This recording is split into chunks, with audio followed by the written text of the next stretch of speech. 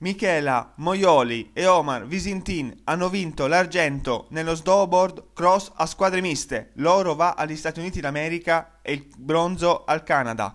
Si tratta dell'undicesima medaglia per l'Italia a questi giochi invernali di Pechino 2022. Bravi!